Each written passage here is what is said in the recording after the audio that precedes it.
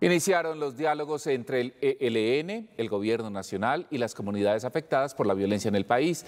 La primera reunión fue en Arauca y luego se extenderán a Antioquia y Bolívar. Después de concluir el cuarto ciclo de negociaciones entre el ELN y el Gobierno Nacional, se acordó priorizar la atención a las propuestas y demandas de participación de las comunidades locales y líderes. Con este fin, se programaron encuentros en varias regiones, comenzando en Arauca plantear la importancia y la necesidad de que esté protegida la población civil, que salga del conflicto y llamar también a que cese el enfrentamiento entre los grupos que, fundamentalmente afecta a la población civil.